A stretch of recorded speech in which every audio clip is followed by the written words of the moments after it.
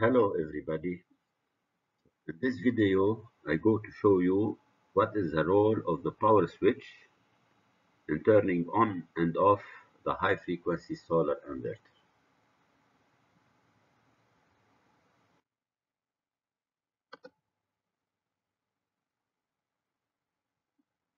Here the schematic of the battery SPS. Here. This is the socket of the switch. This one.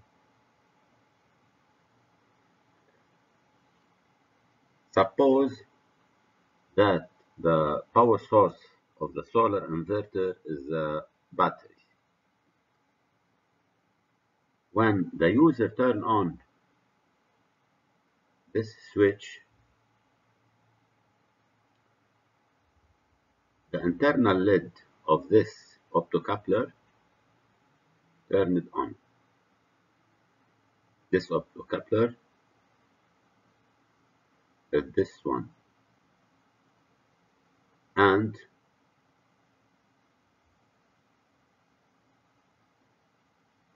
this capacitor start to charge and this time this transistor turned on. This small SMD1 it is an PNP transistor. Sorry this one this one. It is a, an NPN transistor SMD when this transistor start on or switched on the base of this transistor is switched to the battery terminal, the minus battery terminal, and this trans transistor is switched on for a second. When this transistor, the small one, PNP transistor, when it is switched on we have a current and a voltage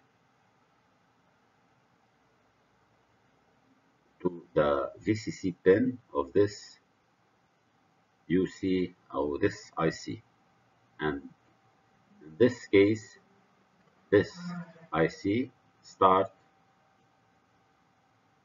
work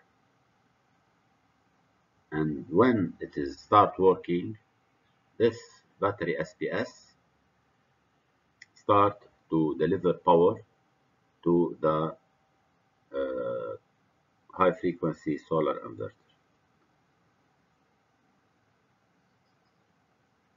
An internal coil and a small circuit formed by a diode and a, capacitor. This is a capacitor and this is the diode. And this is the coil. Deliver a feedback voltage equal to 15 volt DC voltage to the VCC pin to this UC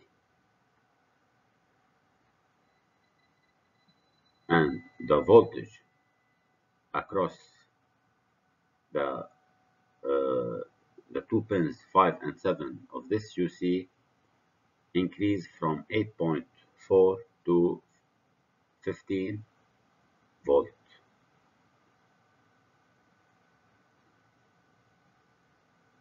When the microcontroller starts working, it sends a signal to uh, this transistor to uh,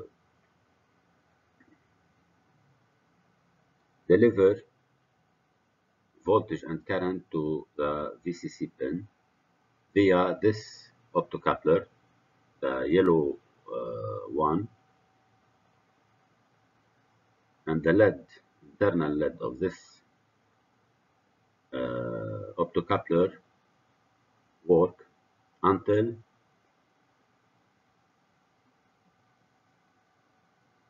the signal stopped.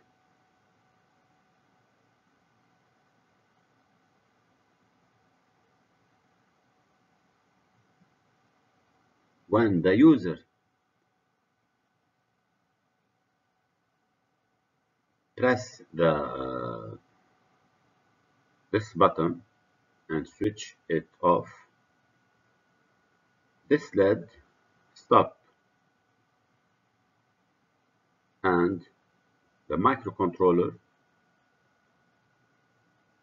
know